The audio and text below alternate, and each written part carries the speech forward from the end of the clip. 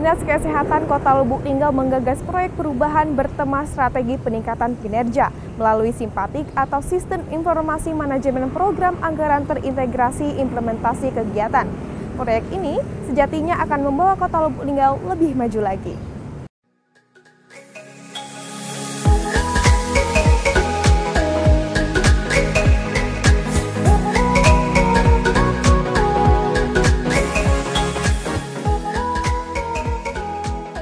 Pihak Dinas Kesehatan Kota Lubuk Linggau telah mengikuti pelatihan kepemimpinan nasional tingkat 2 angkatan ke-18 di BKP SDM Provinsi Sumatera Selatan. Pelatihan ini bekerja sama dengan Lembaga Administrasi Negara Republik Indonesia di mana menggagas proyek perubahan dengan tema strategi peningkatan kinerja melalui simpatik atau sistem informasi manajemen program anggaran terintegrasi implementasi kegiatan. Selain adanya proyek perubahan ini dapat dilakukan monitoring evaluasi secara cepat terhadap semua program dan dan kegiatan dan implementasi untuk melakukan pelayanan kesehatan dengan masyarakat. Kepala Dinas Kesehatan Kota Lubuk Linggau, Cikwi mengatakan, kegiatan perubahan ini dapat meningkatkan pelajaran kesehatan Kota Lubuk Linggau sehingga tercapai seoptimal mungkin.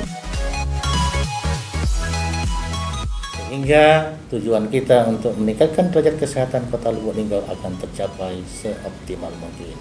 Dan insya Allah ya proyek ini akan dijalankan ya dua bulan pertama kemudian ada tujuan jangka pendek jangka menengah dan jangka panjang mudah-mudahan ini sukses dan membawa Lubuk Linggau lebih maju ke depan Linggau bisa dan tetap bisa Sementara itu, Wali Kota Lubuk Linggau Haji SN Prana Putra Sohe mengaku sangat mendukung proyek perubahan serta BKN tingkat 2 Angkatan 18 Kota Lubuk Linggau. Wali Kota berharap semoga proyek perubahan ini dapat bermanfaat. Assalamualaikum warahmatullahi wabarakatuh. Waalaikumsalam warahmatullahi wabarakatuh. Saya Haji SN Prana Putra Sohe, Wali Kota Lubuk Linggau.